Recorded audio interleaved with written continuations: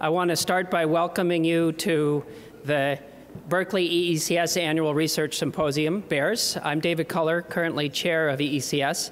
And the first thing I'd like to do uh, as we talk about this very interesting year is to introduce you to our newest chair, uh, Tsu-Jae King Liu, um, associate chair of EECS and chair of EE. Good morning and welcome everyone.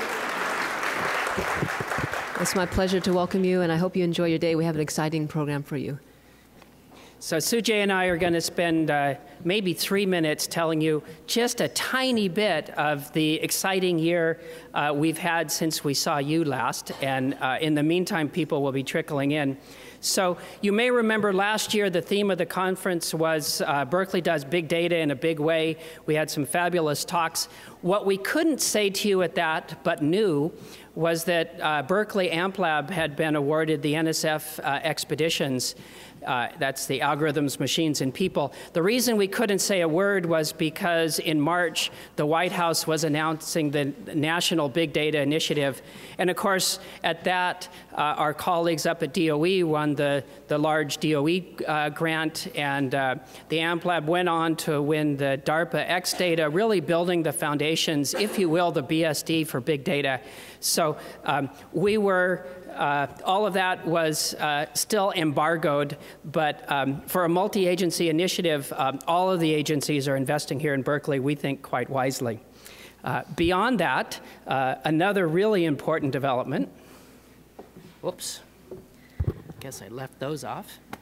Okay, so in recent years, uh, demand for our CS courses has, has surged, but this year, interestingly, we've seen a resurgence of demand in our hardware uh, courses.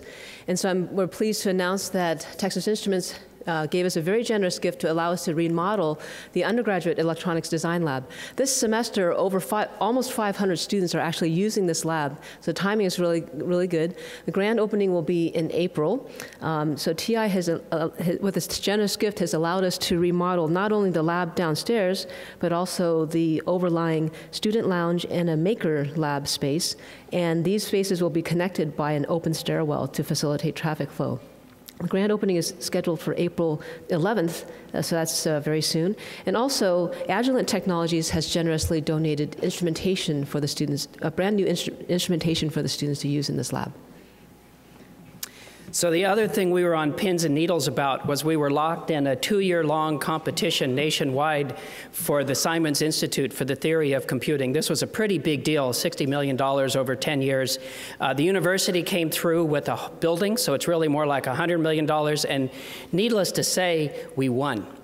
So uh, our view going in was uh, the winner would lead uh, theoretical computer science for the next 20, 25 years, and uh, we thought that was true regardless, and um, we're happy to be in the winning seat. Uh, so you'll hear more about that today from Dick Karp later on in the session. Uh, but if you hadn't noticed, the world of education has completely changed around us. So this was another huge development. Uh, there was quite a bit of buzz last year about the $100 million that Berkeley, that MIT and Harvard had each put into edX. So uh, after a lot of discussion and the EECS faculty driving forward from the bottom up in all kinds of directions, we decided to align with that joined edX, so we lead the external consortium, and uh, a third of the, of the classes and the core technology is part of the open source uh, Berkeley development. And in addition, uh, we started developing uh, programs uh, that uh, really rely on this technology, and Tsu-Jae may want to say a word on that.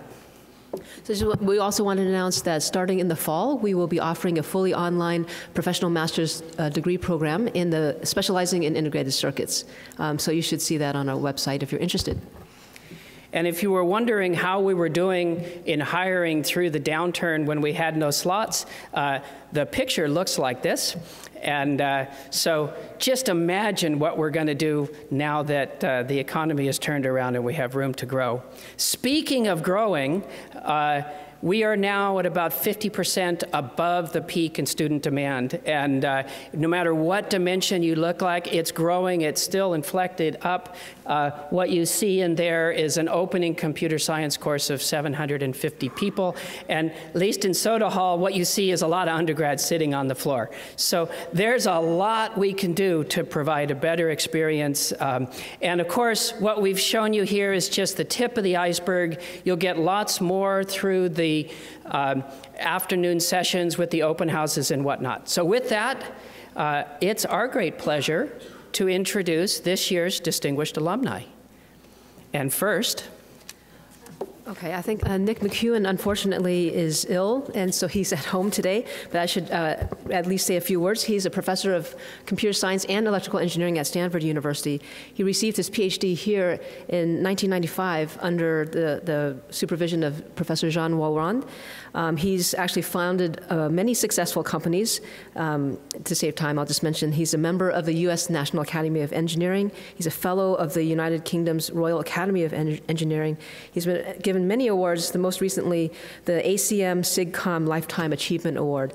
And the uh, citation for Nick is for his fun, uh, so he's receiving the Outstanding Alumni Award in Electrical Engineering this year for his fundamental contributions to router design and software-defined networking. So we will have to find another occasion to congratulate Nick. So with all that, Nick has the good sense. Um, he's homesick with his family, so we'll uh, appreciate him uh, virtually.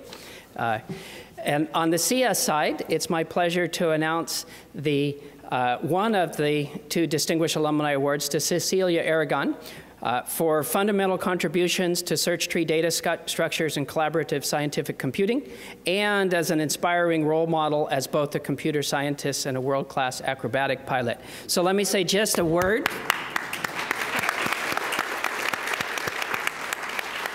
So she did her PhD here uh, with Marti Hearst, uh, but also worked with Raimund Seidel, a former Berkeley faculty member developing the treap data structure, went on to be a terrific professor at the University of Washington, and on the side represented uh, the U.S. nationally in various acrobatic. Uh, so we have uh, something approximating your certificate since you're actually here in person. Please come on up.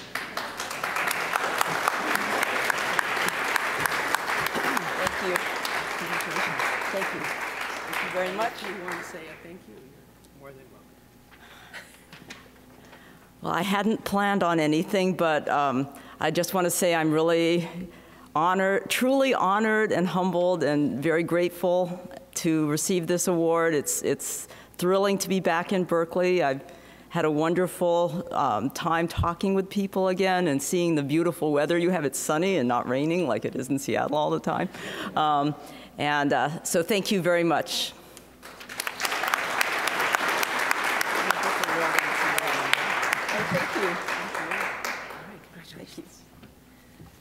Okay, the, the next, the second uh, winner of the Outstanding Alumni Award in Electrical Engineering goes to Mr. Sanjay Mehrotra.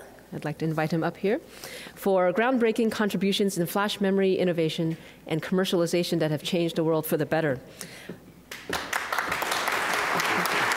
So uh, let me just say a few words. Maybe if David could give him the so Sanjay, uh, Mr. Mehrotra is a co-founder and president and CEO of SanDisk Corporation. He earned his bachelor's and master's degrees here at UC Berkeley, and his uh, research advisor was Professor Bill Oldham. He has over 30 years of experience in the semiconductor memory industry. He's worked for a number of uh, uh companies uh, before SanDisk, uh, Atmel, Intel, and Integrated Device Technology. And in 2006, he and his co-founders of SanDisk won a major IEEE award for the Storage Device Technology Award. And he currently serves uh, on the board of directors for Cavium Networks, and he's also a member of our college's um, advisory board. So congratulations, Sanjay, and thank you for your contributions. You know, I just wanted to say that I am humbled and deeply thankful to the department for this recognition. And whatever I have achieved, I always say that really I owe it to the solid foundation and education that I got here at Berkeley. And even this, to this day, 33 years later, many times I find the fundamentals I learned here as an undergraduate and a graduate student in EECS uh, help me in uh, making decisions and advancing our technology today. So it's been a wonderful experience and quite an honor to be here today. And even to this day, I believe that Berkeley provides the best education that is out there. And for us at SanDisk, the best proof of that is that maximum graduates that we hire every year from any university tend to be from Cal and mostly from from EECS. So I'm very thankful uh, for what the professors and the staff here are doing at UC Berkeley day in, day out. I, I really uh, thank them for the wonderful work that's being done at Berkeley. Thank you.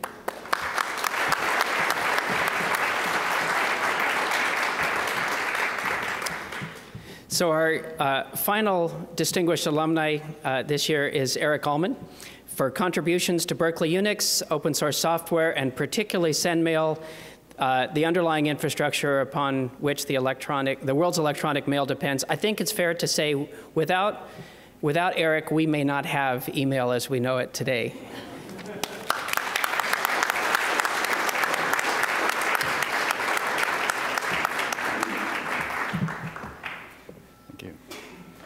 So I'll just say, uh, Eric, of course, is a local. Uh, grew up here and uh, played with the back to the IBM 1401. He's uh, that kind of a youngster. Uh, did his bachelor's and master's here, and so many other things uh, before he went out into the real world for a period of time. So we're always glad to have him back. Thank you. So I uh, consider myself to be more lucky than, than smart. Uh, I came to an absolutely extraordinary place at an extraordinary time. Uh, Unix was just coming in, and we were one of the first places outside of Bell Labs that had it, and that has formulated my career in ways that I could not possibly have predicted. Uh, Berkeley's just kind of the kind of place where things like that happen. So, uh, and I'm deeply honored to achieve this, but I do want to point out that I may have invented some piece of email, but spam's not my fault.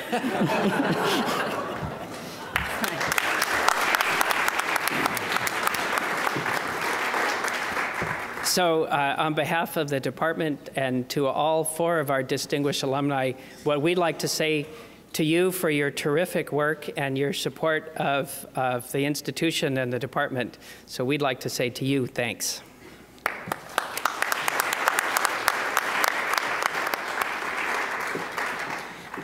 So with that, uh, Dave Patterson, our chair for EECS, never thought we'd get here on time, despite our late start. Here we are. So uh, it's my pleasure to kick off the morning session. And uh, if we can switch over to our first speaker. and your machine is right there. So uh, our first of speakers who need no introduction, but I'll cover airtime while he gets set, is uh, Edward Lee. Uh, many of you will recognize from the days when uh, he was chair leading this particular activity. And uh, of course, he's been working for uh, many years in the area of embedded systems and in particular uh, in bringing uh, sound software techniques to the embedded space. And uh, he's going to talk to you about a new project tied in with the swarms lab that you heard about in last year's bears uh, which is now launched off to an exciting and quite deep research agenda. Edward thank you. And i'll play iron fist to keep us on time Okay, thank you, David. Um, so um, the project that I'm going to tell you about is exactly one month old uh, officially, uh, launched January 15th. Uh, we call it the TerraSwarm Research Center. Um, it's a $28 million over five-year project involving nine universities, extremely ambitious in scope. Um, but as with a lot of these projects, the vision of this effort is uh, not something that is only a month old. It's something that has incubated, that we've incubated over some time and have developed. And so what I'd like to try to do is convey to you what the, what the vision of this effort is. Um, so the term swarm uh, is not one that actually um, we originated with this project. It's a term that people are using to uh, refer to the millions of devices that are uh, interacting directly with the physical world uh, and are becoming networked. So these are the sensors and actuators all around us, for example, in the HVAC systems in buildings uh, or, in, uh, or in surveillance systems for security and so on. Um, so this project is focused on that swarm technology. Now, uh, the backdrop of this, of course, is, is information technology, and, and the distinction that I'd like to make here is that whereas information technology is primarily about uh, uh, processing information for, for human consumption, um, this project is really much more focused on the interaction between that cyber world of information technology and the physical world around us. So it, it has to do with uh, basically giving this cyber world eyes, ears, hands, and feet so that it interacts directly uh, with the physical environment around us.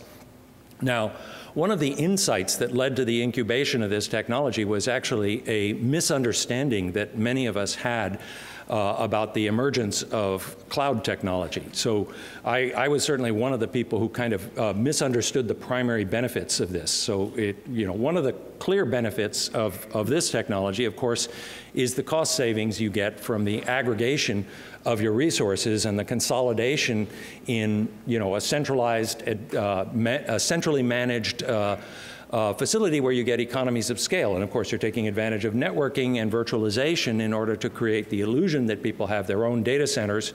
Um, but you do this at a considerably lower cost than it would take them to, to um, to in fact have their own data center. So this cost savings is clearly one of the one of the motivations.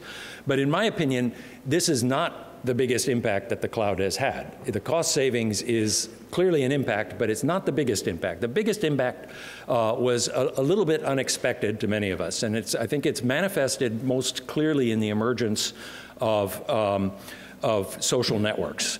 And in, in this, in, this uh, in, in, social networks, the, the value uh, that the cloud provide, provides is primarily in the ability to aggregate data from a multiplicity of sources. Okay, you get data coming in from all over the place, and it's that ability to pull this data together to in, and then to extract it, uh, actionable information from that aggregation of data. That is an enormous value that you can't get from a more decentralized approach to computing. The one of the key visions in this TerraSwarm Research Center is that we see the same thing happening in this cyber and physical interaction, where as soon as you get the, you, you get the capability of aggregating data from a, from a huge multiplicity of sources, sensor, sensor information uh, from millions of sensors around us, and the ability to then take action in the physical world, that through that aggregation of data, we can tremendously increase the power of what we can do with, uh, with by leveraging computing to make the world a physical, uh, uh, the physical world a better place. So, you know, imagine vastly improved transportation systems, enormously improved uh, energy efficiency and things like that. Okay, so today's big thing, of course, is what we call the 20-year overnight revolution of the wireless handheld device. Uh, why 20 years? Well, because uh, uh, actually 21 years ago, uh, Bob Brodersen and Jan Rabaey launched the InfoPad project. And here's a couple of uh, uh, Bob Brodersen's slides from a keynote that he gave at the conclusion of that project in 1997, where at that time they had a working InfoPad, a picture of which you can kind of see here, and a, and a vision of this thing operating in very much the same way that uh, I see several iPads in the room and uh, tablets out there are operating today. So when Apple introduced the iPad uh, in, in Cory Hall, we referred to it as InfoPad 2.0. Um, so it, this is, of course, consistent with the Berkeley style. Uh, we do these big projects that are meant to be very visionary and uh, by design are meant to be 20 years ahead of, um, of what you're going to see in the real world, and that certainly manifested itself in this case. So what's happening today, of course, is that these mobiles are um, providing the interface between the cloud and us humans, okay? They give us the portal into that, into that information technology world. And we're seeing, of course, enormous growth, so there's a lot of industrial interest in this. But, um, of course, we're trying to think 20 years ahead, so we're thinking about the next big thing, which we refer to as the swarm at the edge of the cloud. Okay, so these are the devices that are going to interact rather than primarily uh, with humans, rather than providing a portal into the information world for humans, they provide the interaction between that information world and our physical environment. That's what we call the swarm at the edge of the cloud.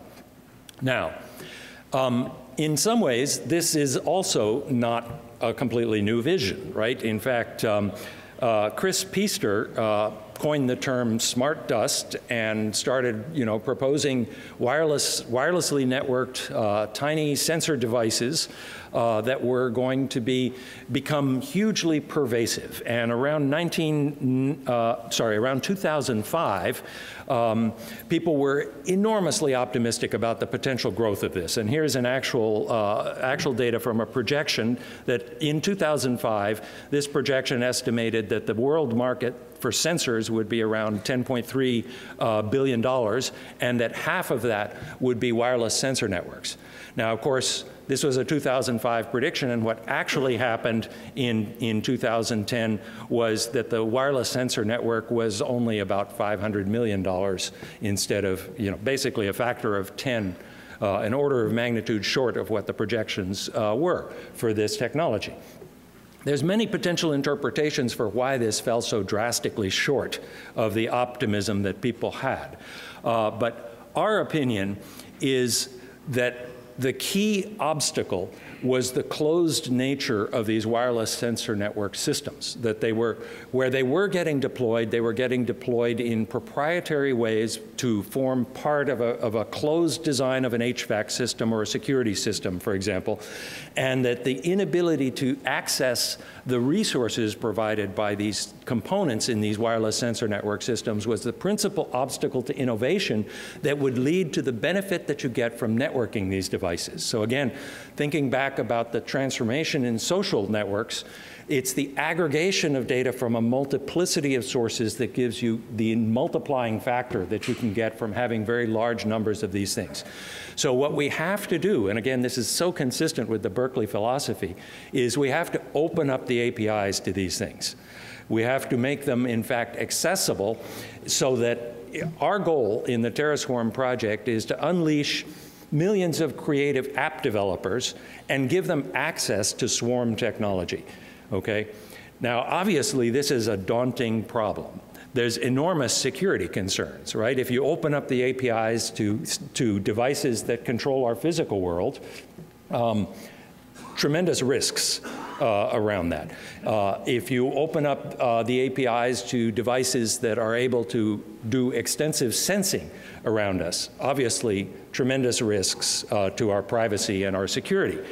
So this is not an easy problem, um, but we believe that if we can solve this problem, we will make an enormous impact because we will enable this, this multiplying factor of this aggregation of data from, from multiplicity of sources and start to be able to leverage the, the benefits that we get uh, from having very large numbers of these devices. So when we set out to define a research project around this, um, we realized that this was something that no um, none of us were sufficiently expert in the breadth of topics uh, that we needed. And so we, we, we, we, organized this project in a little bit of an unconventional way. You know, academics often, when they, when they want to start out a research project, they talk to a few of their buddies, the people they know the best. They form a little team and they form a proposal. Uh, we started that way with a sort of small core group of people, but started with a primary focus on what this core group of people that we were didn't know rather than what we did know. And then we set out to recruit the best brains in the areas that we didn't know uh, to have that covered. So the team that we ended up with is, uh, I think, quite uh, an awesome team. So we've got, for example, three of the world's best control systems people. Um, Vijay Kumar is actually now uh, um, spending most of his time in the White House as an advisor uh, there, but he has done, if you haven't seen his TED Talk or videos of his uh, um, uh, swarms of, uh, of, autonomous aircraft, uh, I really recommend taking a look at these. These are quite awesome. Uh, George Pappas has been uh, extremely innovative in applying control systems technology to security problems. So that to me, when I heard, first heard about that, I said, wait, hold it, disconnect. Uh, how do you apply control theory to uh, security problems? It turns out to be an extremely good match, and I think George is the first person who really recognized this and was able to demonstrate this. Um, we have a, a, number of very skilled systems architects like uh, Kubi and Anthony Rowe at CMU, John Wawrzynek. We have people who are extremely creative in the application space. Uh, David Wessel is a, uh, he's actually on our faculty in the music department, and he runs the Center for New Music and Audio Technology. And tomorrow afternoon, they're having an open house there where they're demonstrating interactive participatory music creation using swarms of networks, uh, swarms of sensors that are reacting to the public who will be walking around in this space. That's happening uh, in, on uh, Holy Hill uh, tomorrow, I think, uh, between 10 and 3. So I recommend stopping by if you're around. It should be quite, quite an impressive operation. Um, we also have some of the very best people in, um, in uh, machine learning. Carlos Guestrin uh, is a creator of, again, following, he's very much in, although he's not a Berkeley guy, he's at uh, the University of Washington. He's very aligned with the Berkeley spirit of open source and open architectures, and he has been uh, building over many years uh, an open source toolkit uh, enabling people to leverage uh, large-scale machine learning algorithms um, without having to develop these algorithms from scratch.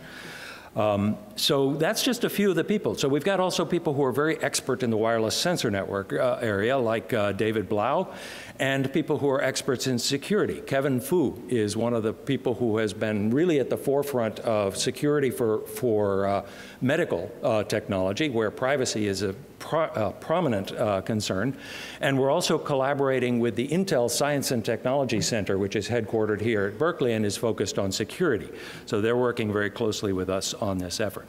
So it's really quite an amazing team that we've got together, and I'm, I'm just absolutely thrilled to be working with these people. Uh, there is some structure, of course, but we can skip over that. So what I'd, what I'd like to do is focus on what uh, how we've kind of organized intellectually the topics in, in here. So the, the project is organized around four themes. The, so the, the application theme is a theme around smart cities. Um, then we have a theme on platform architectures, and, and I'll, I'll, come back to the smart cities, but I just want to sort of give you the, the 10,000 foot overview. So the goal of the platform architectures, I mentioned before, you know, when, um, when the wireless uh, handheld devices really took off. They took off in large part because um, of the ability of millions of creative people to develop applications. So the application development platform was a key enabler there. That's what made that field take off. And it's because none of us, not, even that amazing team that we've assembled to run this project, can't sitting in a room, come up with all of the interesting applications that might come out of swarm technology. We simply, we're not going to be able to do that. I mean, try to imagine yourself five years ago and think of what fraction of uh, iPhone apps you would have anticipated. Uh, and you realize very quickly it's almost none of them right? What you need to do is unleash the creative minds out there by providing them with the application development platform. And so the goal of Theme 2 is to develop that application development platform.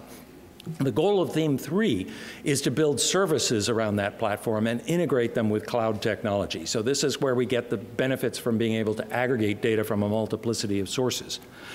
The goal of Theme 4 is to deal with the fact that the designs of these swarm systems, because they're recruiting resources like sensors that are out there that are maybe fixed in place, maybe battery operated, may fail. They're going to be highly dynamic. Their availability is going to be dynamic. Their, their, um, your ability to use them is going to be dynamic. And consequently, any application that you develop is going to have to be in a sort of constant state of redesigning itself. So the goal of Theme 4 is to take a lot of the design technology that I think Berkeley has pioneered over the last 20 years, but this design technology that we've been working on for 20 years is more focused on the classic design problem of where you design systems up front, then you manufacture them, then you ship them. And so the design technology is all devoted to this upfront part. The goal in the TerraSwarm project is to take much of this design technology and move it into the deployed system and use it for the evolutionary uh, growth and adaptation of these systems. So that's, that, that's what that goal is. Now, let me go back to the smart city theme. So smart cities, of course, one of the reasons we decided to focus on smart cities is that it's a broad enough problem that almost anything we do can be declared to be uh, you know, something that fits into the smart city theme. But um, one of the key ideas here is uh, what we call the tale of two cities. So to underscore what we mean by that, uh, here's a picture of Atlantic City uh, uh, just close to, just next to the boardwalk on October 28th of last year. And here's a picture of Atlantic City two days later in more or less the same spot, okay? Um, pretty transformed. Um, in the Tale of Two Cities, our goal in applications that we develop around swarm technology is that each, each piece of architecture, each piece of technology that we developed should of course be able to provide a useful service in the best of times.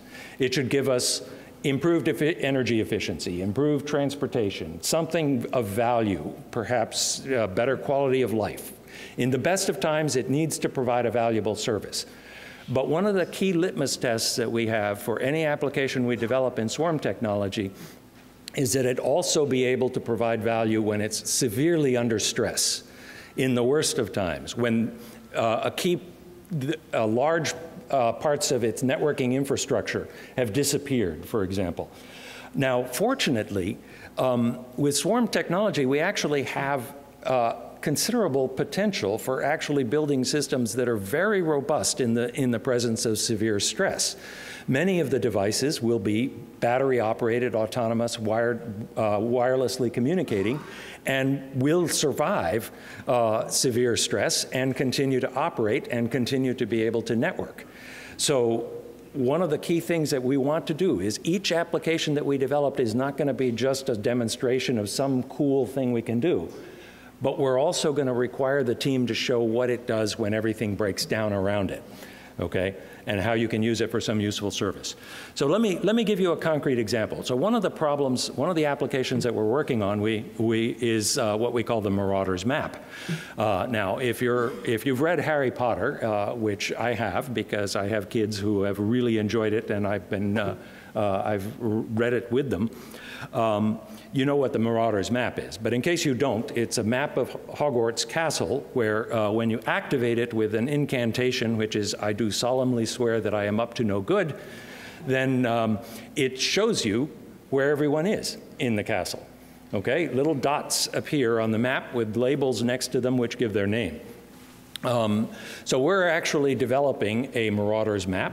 And one of the goals here is, in fact, to take advantage of this multiplicity of, of uh, sensor information in order to be able to, uh, you know, create this map that, of course, you would carry around on your tablet or on your phone. Uh, and be able to identify, say, where your friends are in the, in the environment. Now, obviously, there's privacy concerns here.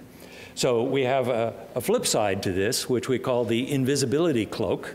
Okay? Now, if you know Harry Potter, you'll know that this is a bit of a, of a misrepresentation of Harry Potter because the invisibility cloak actually cannot hide from the Marauder's map. That's in fact one of the, it's pretty much the only way you can see through the invisibility cloak in Harry Potter is with the Marauder's map.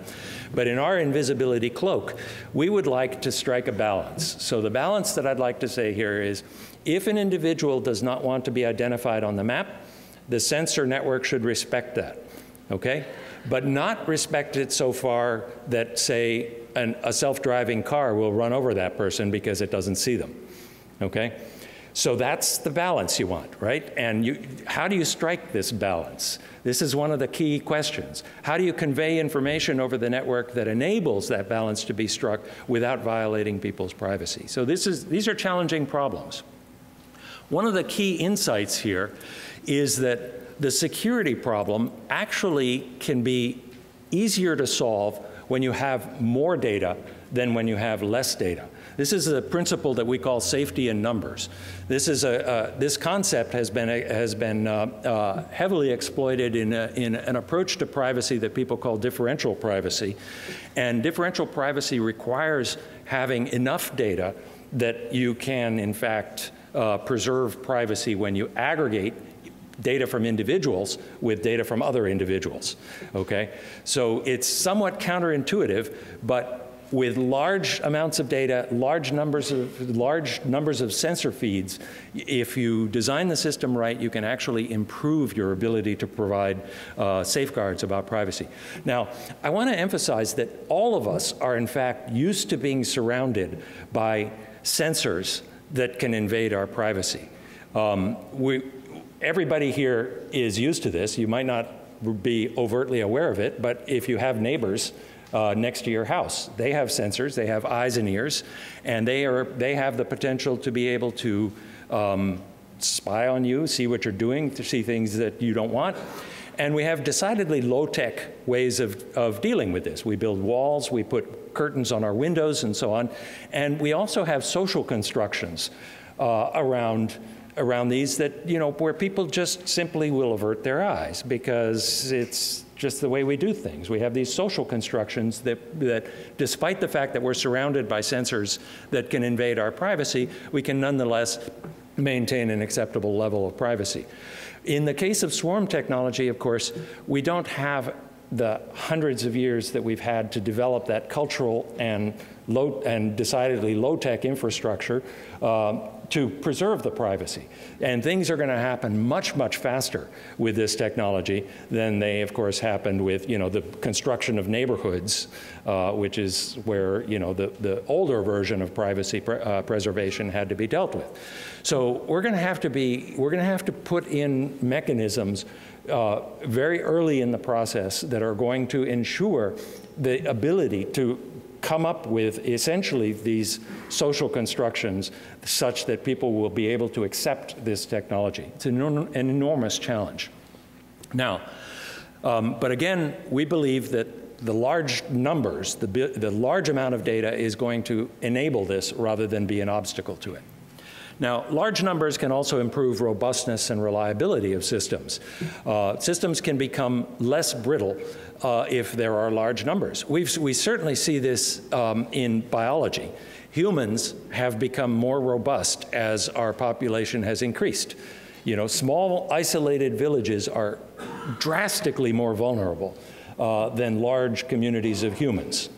Um, ants are another example. I learned, uh, quite to my surprise, um, that the um, animal biomass of ants is approximately the same as the animal biomass of humans on Earth. So the numbers are, in fact, very, very much larger. Um, but nonetheless, the, one of the goals in, Terra, in the TerraSwarm project is to leverage the large numbers of components in these systems to be able to deliver robustness. That, of course, requires a new approach to design. These systems have to be continually redesigning themselves uh, on the fly as components appear and disappear and resources appear and disappear. And a third key problem that we're addressing here is that you know, much of the technology that we're developing uh, was, in fact, I mean, that we're building on, was developed primarily for processing information. It wasn't developed primarily for interacting with the physical world. Computation is discrete, the physical world is not, for example. Computation is imperative, the physical world is not. The physical world is concurrent. Um, and if you build naive bridges between these two, we know from experience that they, uh, they don't work very well, okay? So the key goal is the platform that bridges the, the, resources. The resources here we think of as the millions of sensor and actuator devices, the networks, the storage devices, and the computing infrastructure in the cloud The applications are the things that most of us will be surprised by because when we unleash millions of creative minds, they're going to come up with amazing ways, amazing things to do with these resources that we're not going to be able to anticipate now. Our goal is to build that, uh, that open source, open architecture platform that unleashes those minds, hopefully something with a reasonably narrow waist so that we get as many creative minds as we can and not just the intense techno nerds um, enable the creative minds to be able to use these resources effectively. So I don't know if we have time for questions or a mechanism, but if we do, I'm happy to take any questions. Thank you.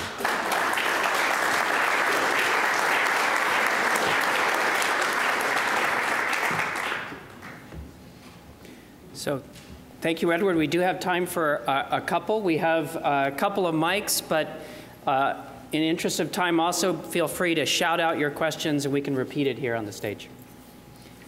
Uh, can you say anything about where or when you're going to start your, your smart city work? So the question was, can you say where or when you're going to start smart cities? Um, so we're, because this is a nine university center, we're, we're doing this in a somewhat uh, distributed way. And we have a number of, of pieces of existing infrastructure that we're leveraging. Um, so at, uh, at, at Berkeley, we're in fact leveraging a lot of the infrastructure that David Culler here has built, um, which is uh, network has, has effectively instrumented the campus uh, and the, in particular the energy, uh, the energy consuming devices across campus. So we're leveraging that effort. And so we, we hope to take advantage of that. Um, at, uh, in San Diego, which is one of our partners, we're collaborating with Texas Instruments, who is one of the sponsors indirectly through this MARCO program, uh, on a smart grid technology. Um, at Carnegie Mellon, uh, they, they have this uh, Sensor Andrew project where they've also put in an extensive instrumentation infrastructure in the campus, and we're going to be leveraging that as well to build this, these smart city applications. So those are just three examples of things that we're going to be building on and uh, you know, adding technology to and, and developing applications, but focusing really primarily on this app development platform that makes use of these resources.